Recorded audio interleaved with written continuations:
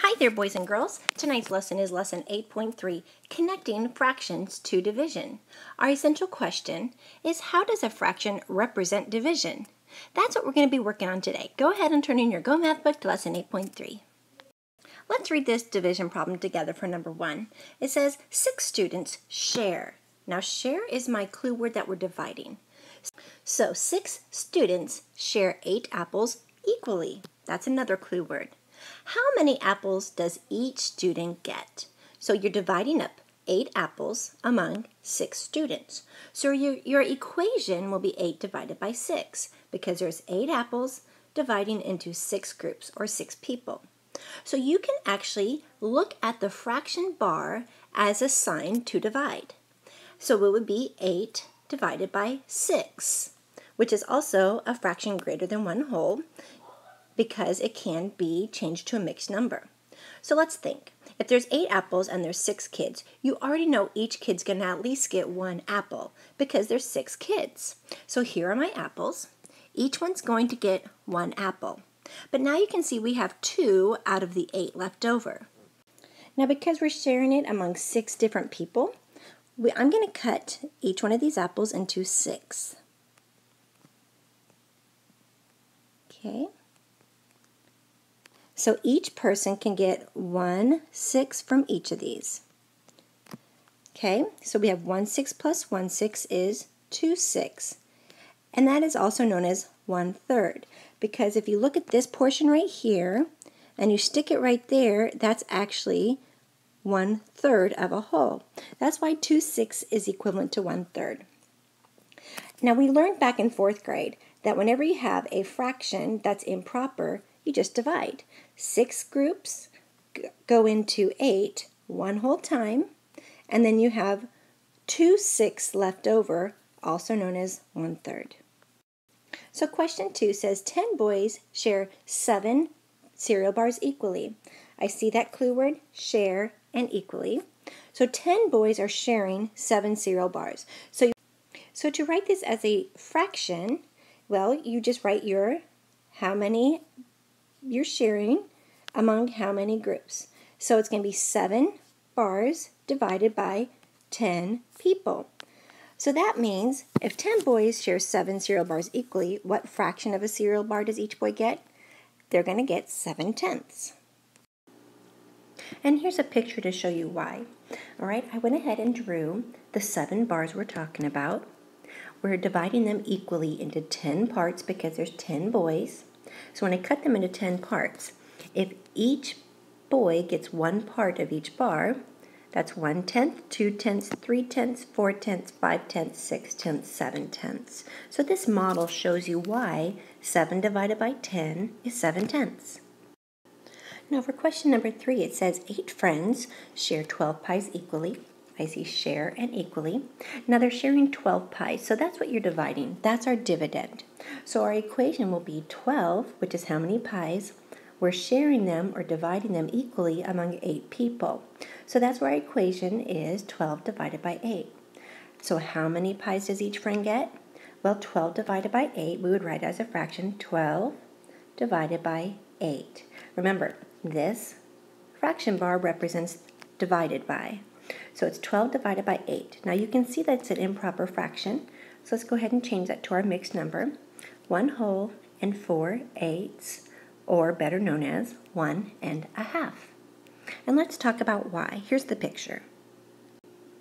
Okay, so here's the model that I created. I went ahead and made 12 pies, 1, 2, 3, 4, 5, 6, 7, 8, 9, 10, 11, 12.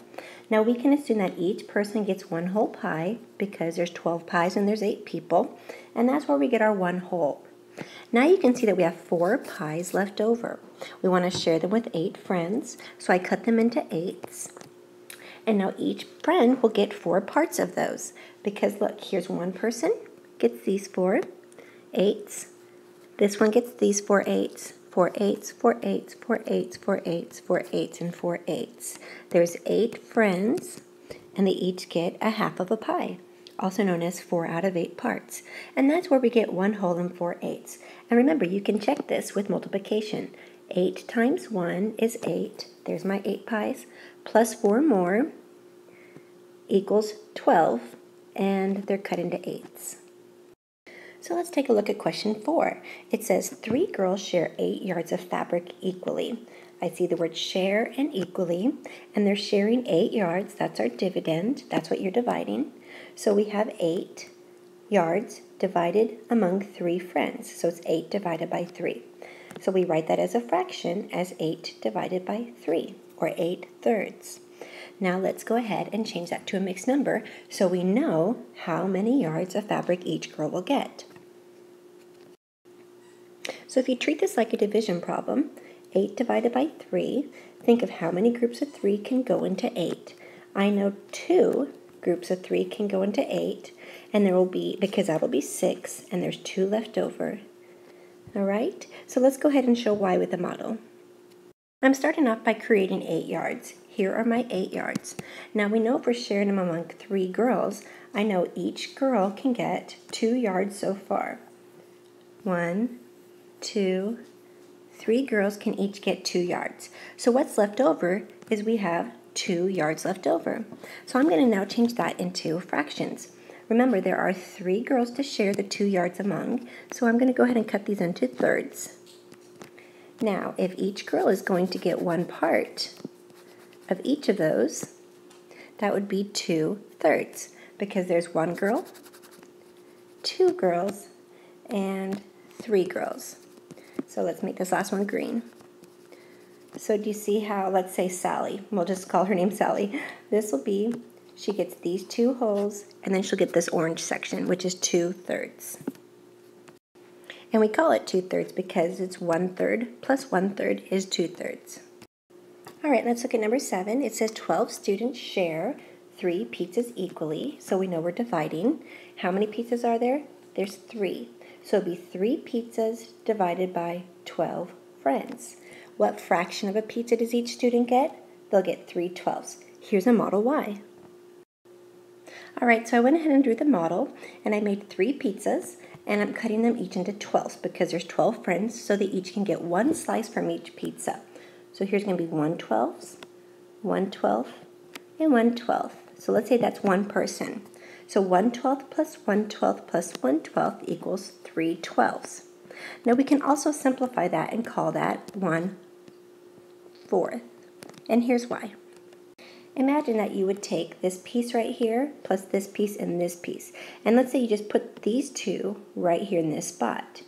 If you were to look closely, that resembles one fourth of a pizza. All right, so that's why 3 twelfths is equivalent to 1 fourth. All right, for number eight, it says three sisters share five sandwiches equally. I see the word share and equally to tell me I'm dividing. Now there's three sisters and they're sharing five sandwiches. So five is what you're dividing. It's your dividend. So our equation is 5 divided by 3. And you write it like a fraction just like that. Remember, this fraction bar means divided by.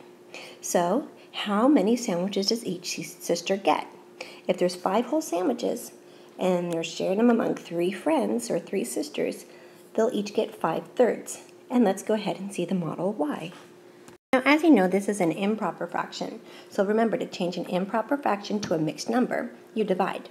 5 divided by 3 is going to equal 1 whole and 2 thirds. And here's why. Each sister is going to get one sandwich apiece because there's three whole sandwiches right there. Now there's two sandwiches left over. So I'm going to cut them into thirds because there's three sisters to share them. So let's give one third to one sister and the other sandwich, she gets the other third. So one third plus one third is two thirds. So a sister will get one whole sandwich and two thirds. So let's go ahead and take a look at our problem solving at the bottom of the page. Number 9 says there are 12 students in a jewelry making class and there are 8 set of charms. What fraction of a set of charms will each student get? Now remember, there are eight set of charms and there are a total of 12 students. So we're dividing the eight set of charms among 12 students. So our equation will be 8 divided by 12.